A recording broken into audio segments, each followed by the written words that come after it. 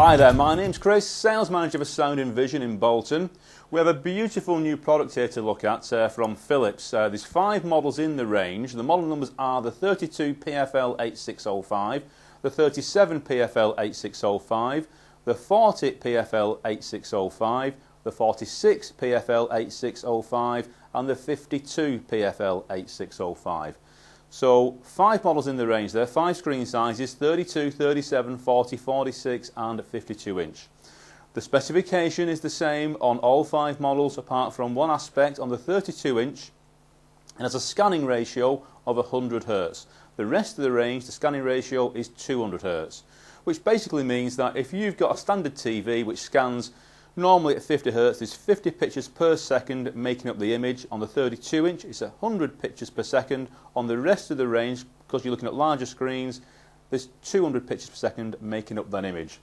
The reason for that is, is because when you're looking at the larger screen sizes, if you're getting any fast movement, uh, you need a faster scanning ratio, so you're um, less likely to notice any sort of motion blur or drag in the image. So on the larger screens, they put 200 Hz on, they don't consider it necessary on the smaller screen at 32 inch. But the rest of the spec is the same. Uh, first of all, uh, beautiful design on, uh, on this set. Um, you're looking at uh, glass base, which is on a swivel, glass screen at the front here, which runs right up to the edge. It's a frameless um, sort of design on the set, beautiful design. What I'll do first of all is spin the set round and we'll have a look at the sockets on the rear of the TV. We'll go through those and then we'll start looking at uh, some of the menus and the specification on the, uh, on the range itself.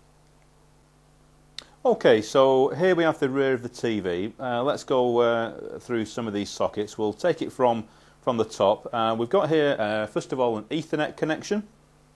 Just underneath there, you've got a SCART socket. You've got component in on here, which is the red, green, blue connection. Things like Xbox 360s and some DVD players uh, can use component. We've got components here. That is the separate audio feed for the component, take the audio in. Uh, you've also got a headphone socket uh, just here as well. There's a separate audio in uh, on here. Um, underneath here, all the sockets are mounted underneath the panel. So you can get away with a very slim bracket on this TV because uh, the socket's completely recessed underneath here. Uh, you've got, first of all, an additional SCART just underneath here as well. So there's another SCART socket recessed underneath. You've got uh, digital uh, coaxial out on here, so there's no optical socket on the back of this TV. They feed the digital signal out of the set through a digital coaxial socket, which is on there. You've got three HDMIs, HDMI 1, 2 and 3, so there's three HDMI uh, sockets recessed under there. There's also your antenna, which is your, your aerial socket just there as well. Next to that, just here, it says 3D out. Uh, we'll cover that um, later in this uh, video clip. And you've also got a VGA socket, which is your PC connection, just underneath there as well. On the side of the TV, there is an additional HDMI just here on the side of the set. Uh, there's also a USB connection just on here as well. And you've also got an SD card reader, so if you've got a digital still camera, you can pop your card into the side of the TV, you can have your photographs on screen as well. If we just pan out uh, a second on here as well, um, the set itself has wall fixings on here, so you can wall mount the TV. The actual um, wall mounting uh, for this set, you're looking at 200mm on the width uh, by 300mm on the uh, height. So it's basically 200 by 300 uh, for your wall bracket connection on there as well. So we'll spin the set back round um, and we'll have a look at some of the features on the TV uh, itself. One other thing that we didn't mention on there is your power socket for connecting this up to the mains. Yet again, that is also recessed. The power socket is down here and recessed just underneath the panel here.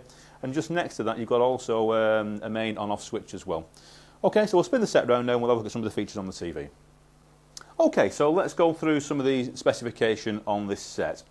First of all, it just oozes quality. As I said, you're looking at glass base, superb frameless design on the TV. Uh, the remote control is a, a, brushed sort of aluminium metal finish, beautiful design. If I get a close up on this for you, if I bring this up to the uh, to the camera now, uh, it really is a superb looking remote control. It's sort of brushed aluminium finish, uh, beautiful design, not plastic, all metal, absolute quality. On the remote control itself, you have a home button on here which puts you into the menu fantastic menu system on the uh, Philips range of TVs and beautifully easy to set up as well. On the keypad here we've got up, down, um, uh, left and right. If we click down to setup, this range of TVs um, are LED edge lit, um, so superb slim design panels as well. They're only 5 centimetres in depth. As we looked at before, all the sockets are recessed so you can get it really close to the wall. The settings on the TV couldn't be easier. If we go down to TV settings, we just press OK in the centre of the remote control. Puts us into the menu. Now, on the picture menu, um, we've got all the adjustments on here uh, for Uh, things like uh, the ambilight, which we'll go through in just a moment, we'll show you the ambilight feature, um, and all the contrast, brightness, colour settings on there as well. Uh, in the smart picture mode, you've got preset modes for vivid cinema, game mode, whatever you're doing with the set, whether you're gaming on it, um, you select the game mode and it sets the contrast brightness levels exactly the way they should be for when you're gaming on there as well. If we just click out of that for just a moment, and go back into the menu.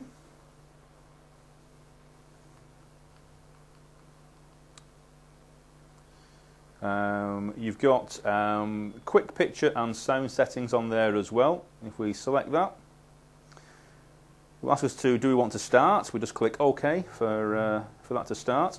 And it will ask us, do we want to run the TV in standard mode or energy, energy saving? So on this side of the screen, this is the sort of picture you will achieve on energy saving, and this is the sort of picture quality you can achieve on standard mode. You've got to make the decision what you think is best. To be quite honest with you, this TV, um, the power consumption is extremely low with it being an LED TV. You're only looking at 148 watts anyway, even in standard mode, so extremely low power consumption. So on this one, I would prefer the standard setting, so um, we just press OK. A little tick on there to say that's what you've selected. And then it says um, uh, to select your personal picture settings, um, standard or personal. So if we just say go over to personal and click OK, it will then go through the mode and ask us which side of the picture do we prefer, whether it's the left or the right. If you prefer the right hand side of that image, um, it's highlighted in the box here. Just click that, puts a little tick on here. It will ask us again, which side of the image do you prefer? So select whether it's left or right and then just click OK. Yet again, same thing, left or right. It just takes you through a, through a few preset modes for you to select and it's a nice easy way of setting up the colour contrast, brightness and sharpness to the picture that you prefer. Um, it then goes through the sound stage, uh, which switches us through the sound settings and asks us uh, which of the different sound settings do we prefer on there as well. Now you've also got Ambilight on this TV, so at the moment I'm just going to come out of this just for a second. And what we'll do, we'll, uh, we'll just dim the lights in here and we'll go through the, uh, the Ambilight features for you, uh, which we'll do now. Okay, so what we have here now, uh, we've just dimmed the lights in here to show and demonstrate the, uh, the Philips Ambilight system to you.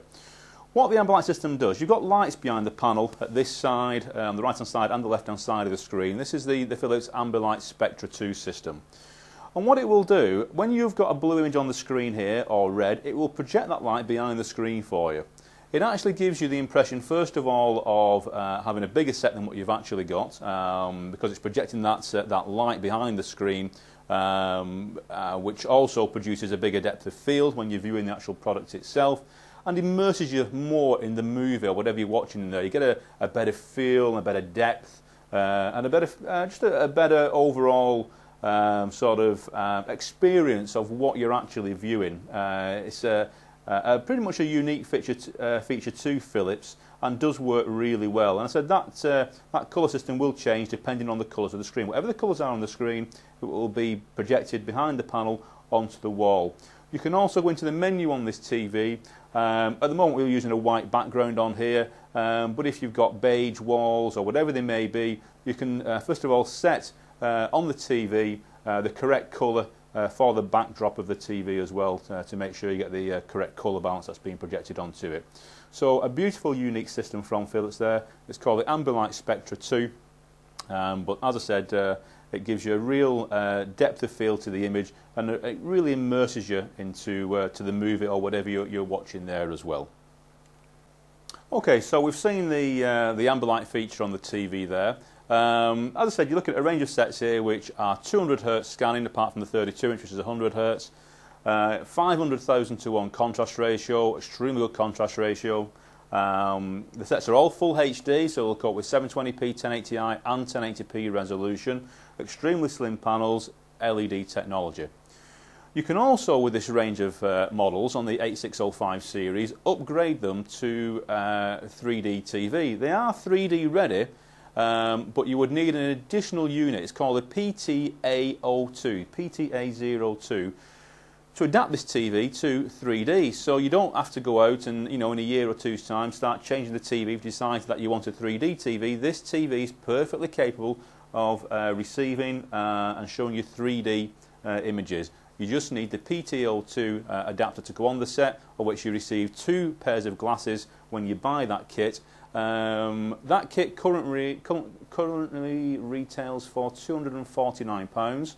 Um, the, the kits themselves are available from the end of August, um, early September uh, of 2010. Uh, the TV set itself um, has web function uh, capabilities. You can either wire it through the Ethernet uh, socket, which is seen on the rear of the TV, but yet again, you can also do it um, wirelessly. To do it wirelessly, you will need an adapter called the PTA01. That's the PTA01, uh, which is a wireless dongle you'll be able to plug into the USB socket, and then you can actually get um, uh, start browsing the web wirelessly. Um, Yet again, that uh, particular unit at this moment in time uh, retails for around £50. Um, well, that's the PTA01 if you want to get a wireless dongle for this so you can browse the web wirelessly. So a range of sets here which are absolutely stunning in features and build quality. I'll tell you now, if you're looking for um, an LED TV, a flat panel TV, I'd probably look no further. It's an absolutely stunning set, not just in picture and sound quality, but also in build quality as well. Uh, if you want more details on this, I would say give me a ring. My name's Chris on 01204 861 861 or go to our website which is soundandvision.co.uk or just click the link for more details. Thank you.